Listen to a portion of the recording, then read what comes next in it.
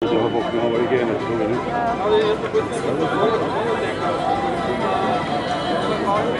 Może czasem nie znaleźć. No dobrze.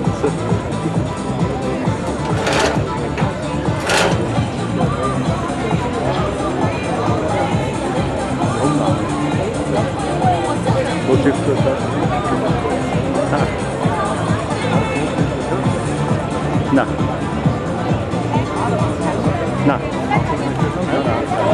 Ja, det ska ta med tid.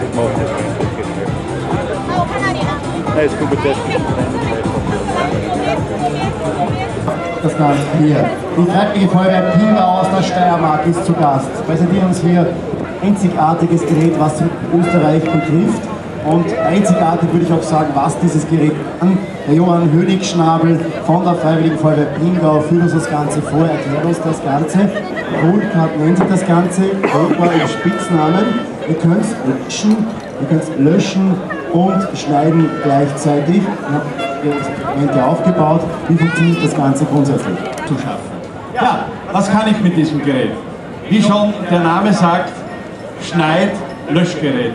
Ich kann in einen Raum eindringen, ohne dass ich irgendwelche Türen, Fenster und so weiter öffne, mittels ein, einen kleinen Schnitt, ein Loch in der Größenordnung von 6 bis 8 mm.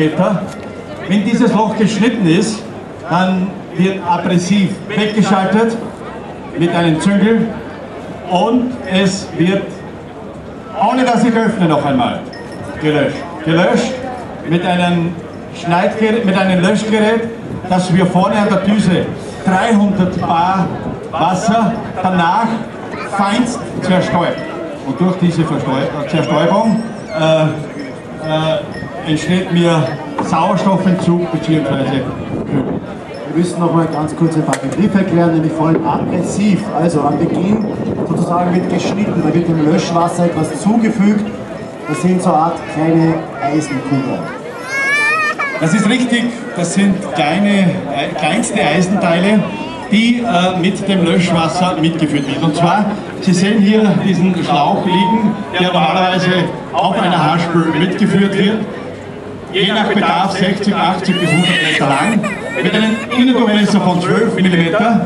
Das Wasser wird spiralförmig in diesen Schlauch geführt und innen, innen der, innen der Wassersäule wird Abrasiv, solange ich Abrasiv brauche und den Hebel betätige, mitgeführt. Anschließend wird mit reinem Wasser gelöscht. Das Abrasiv ähm, kann man sagen, das ist so ähnlich wie die Strahltechnik, Anstrahltechnik. Ich sage es noch einmal, solange bis die Technik funktioniert.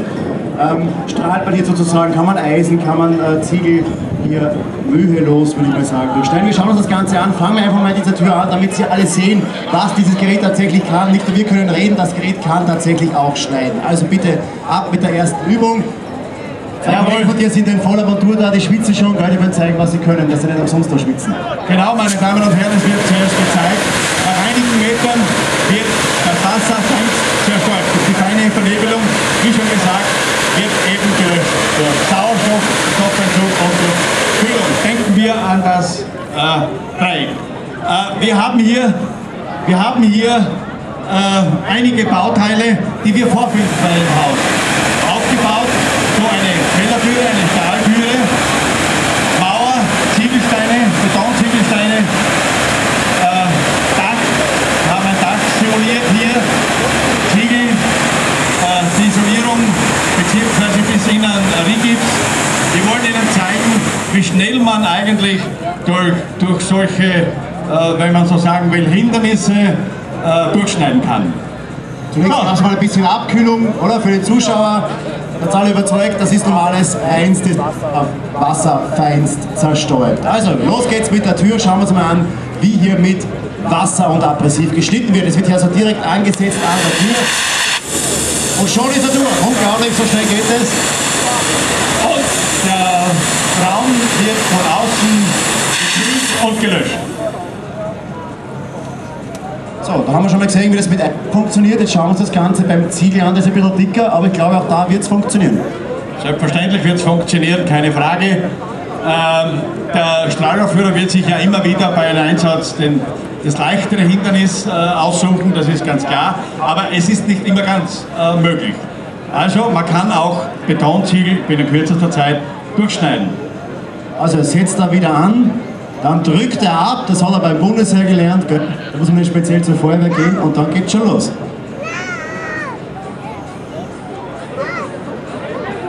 Okay.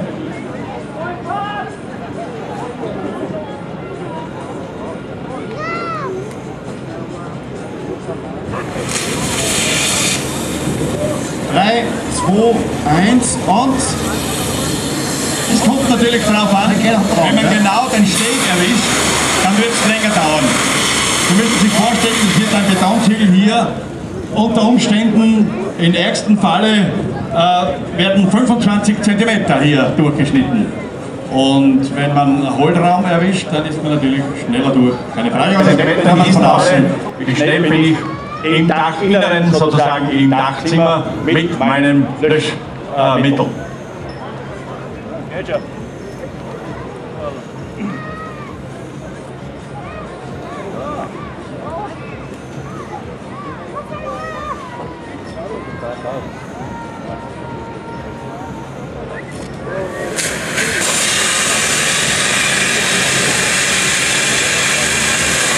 Und ist schon wieder durch und habe gestellt, das Ganze geht. Und wir sehen hier, wie auch immer die Einsatzbedingungen sind, es gibt ja sehr viele Einsatzmöglichkeiten. Richtig Flashover, eine Art Explosion, wenn Sauerstoff in den Raum eindringt, dann natürlich explosivartig wird äh, die Flamme austreten. Das ist der eine Vorteil, ich brauche nicht öffnen, das kann nicht passieren, beziehungsweise äh, ich brauche meine Mannschaft auf keinen Fall äh, in die Gefahrenzone äh, äh, schicken.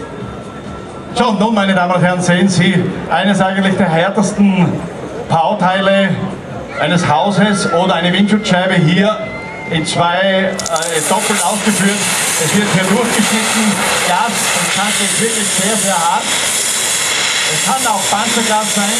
Es wird ein Loch ausgeschnitten, entweder in der Größenordnung, dass wir hineingreifen können, den Fensterhebel betätigen oder sogar so groß, um dass die Mannschaft hier einsteigen kann.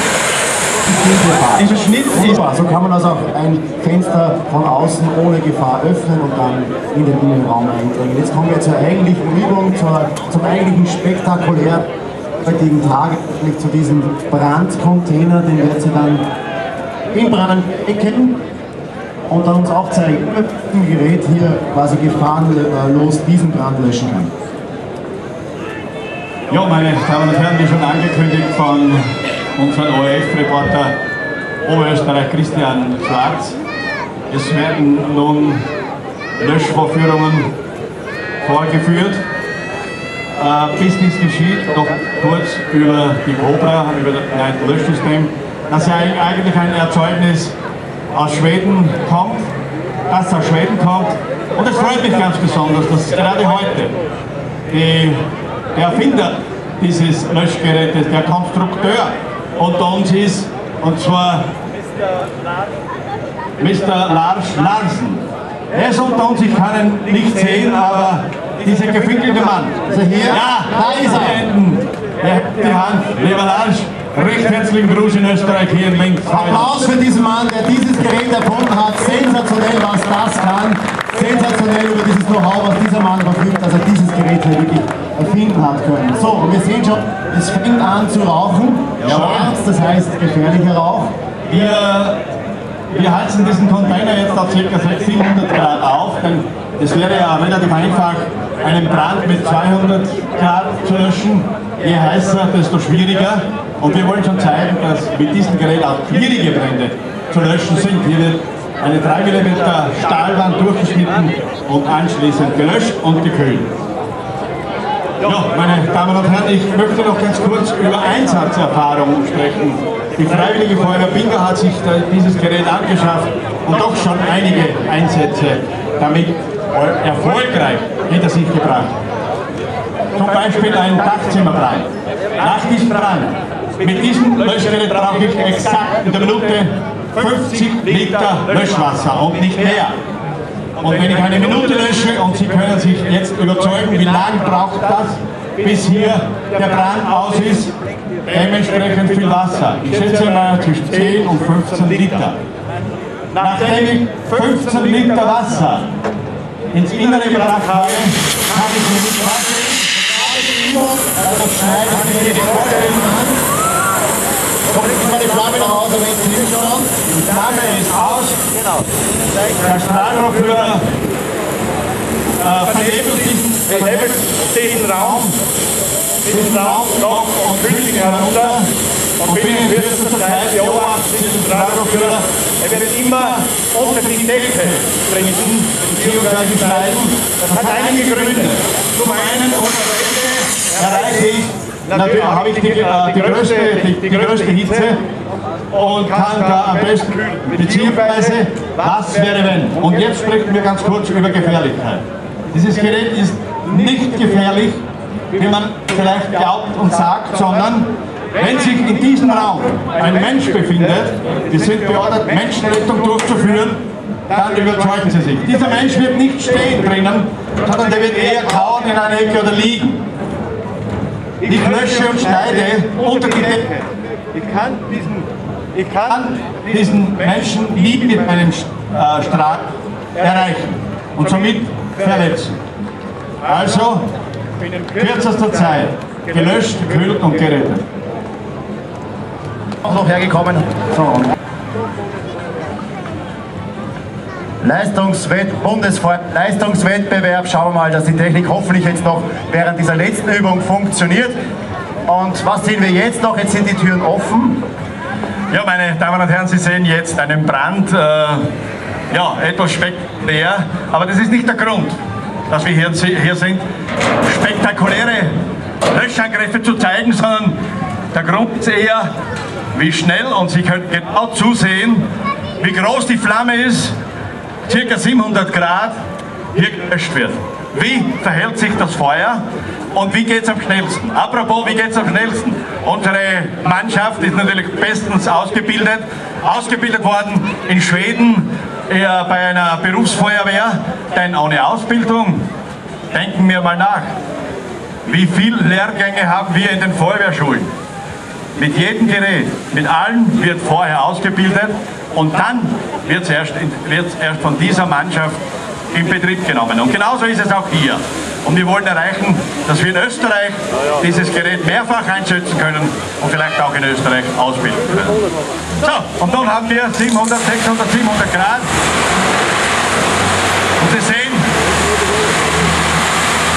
wie man einen Flüssigkeitsbrand, ja, die Insider werden wissen, Unglaublich, schnell das Schaumittel löscht. Absolut ein Applaus verdient, weißer Rauch, das heißt, das Ganze ist bereits gelöscht. Wir sehen hier den Wasserdampf aufsteigen.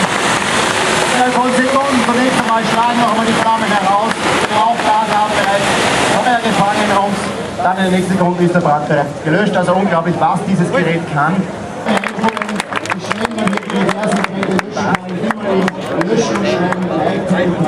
Danke auch schon für die Vorführung. Wir. Ich glaube, wir haben das sehr schön und. Ich hoffe, es viel Spaß auch, es ist wirklich lustig geworden, aber es hat Spaß, dass wir ein wunderbares neues Gerät hier vorführen und ich hoffe doch, dass es vielleicht möglich ist, dass mehrere Feuerwehren dieses Gerät dann in Zukunft im Einsatz haben. Die Zukunft wird es auf alle Fälle beweisen. Ich sage Dankeschön nochmal an Johann Hönig-Stabel.